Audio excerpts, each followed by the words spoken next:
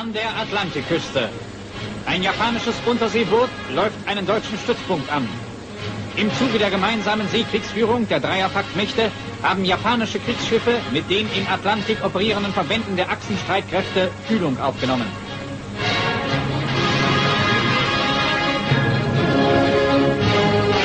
Empfang der tapferen japanischen Verbündeten.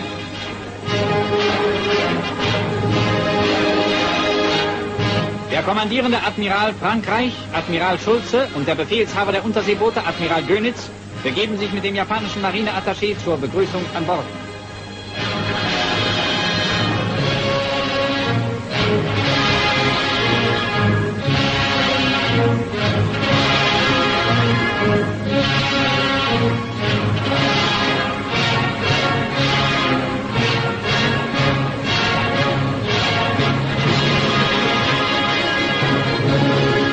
Des japanischen Kommandanten beim Oberbefehlshaber der Kriegsmarine, Großadmiral Räder.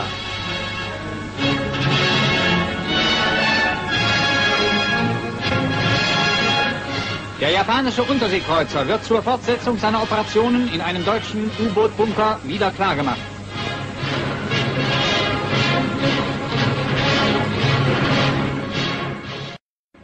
Inzwischen erholen sich die japanischen U-Boot-Männer als Gäste ihrer deutschen Kameraden. Geschenke der japanischen U-Boot-Besatzung.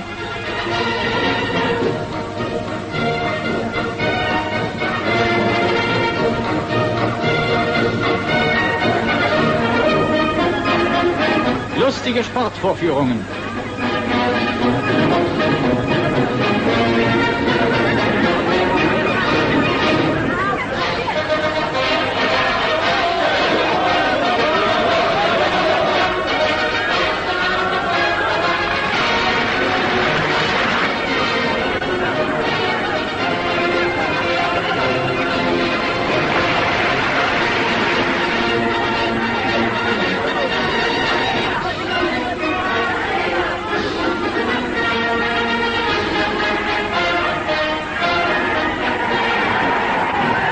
Japanische Kampfspiele.